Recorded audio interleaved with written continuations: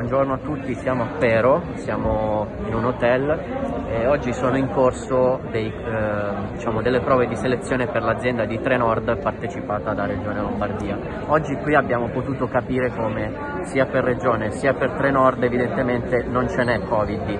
Noi abbiamo fatto delle foto all'interno dove abbiamo potuto vedere un distanziamento minimo, abbiamo potuto vedere qua un, un forte assembramento, abbiamo potuto vedere eh, come ci siano comunque anche delle persone senza mascherina, ma qui non c'è nessuno. Ci chiediamo Regione Lombardia che nei giorni passati ha violentemente criticato il ministro Azzolina invece per dei concorsi fatti nella scuola dove addirittura si parla di 10 persone per aula, quindi fatti, con, eh, fatti rispettando tutte le normative, mi chiedo oggi Regione Lombardia chi la governa che cosa sta facendo oggi per controllare la sua azienda partecipata.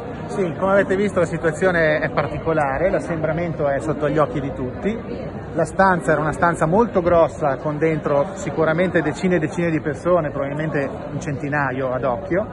Eh, ho chiesto a un po' di ragazzi, un po' di persone che erano presenti ad attendere il loro turno per entrare a fare la prova da dove arrivassero, molti arrivano dalla Calabria, dalla Sicilia, dal Piemonte, quindi insomma evidentemente essendo un concorso importante eh, richiama a un'affluenza da tutta Italia. Come diceva anche Nicola, non è possibile che martedì si vada a votare una mozione in Consiglio con la quale si chiede eh, o con la quale la Lega chiedeva al ministro Azzolina di rivedere eh, l'organizzazione del concorso per, per, la scuola e qui due giorni dopo Trenord, che è un'azienda partecipata dalla Regione Lombardia, faccia un concorso come questo.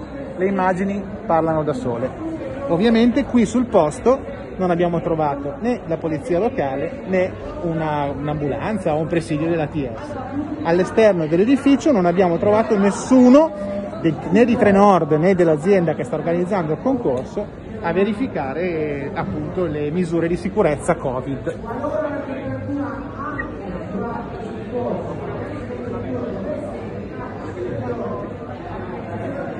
La signora ha accompagnato la nipote a fare il concorso e ci stava appunto raccontando un po' com'è andata.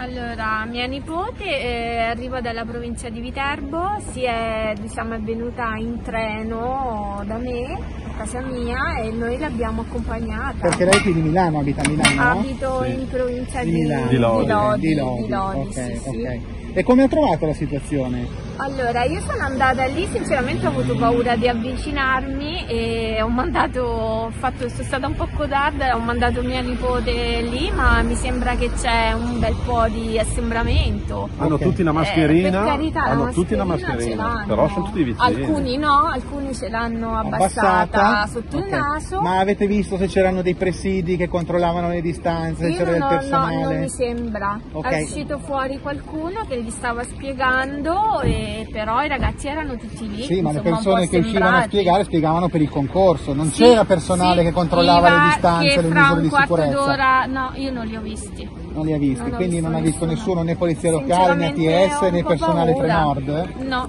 no. E diceva sinceramente? Ho un po' paura perché sì, ci vuole la mascherina, ma ci vuole anche il distanziamento. Eh, certo, e certo. quando ti chiamano che da, iniziano dalla A fino alla Z, eh, cioè eh, si sta lì ad aspettare, è normale che sta parlando una persona per spiegargli dove devono entrare per i varchi, devono portare la carta d'identità certo, ecco certo, tutti i certo. ragazzi certo. si sono sembrati tutti lì, certo. è normale. Grazie cioè, signora. Grazie, grazie, a, grazie, grazie a voi. E bocca al lupo per il concorso. Grazie.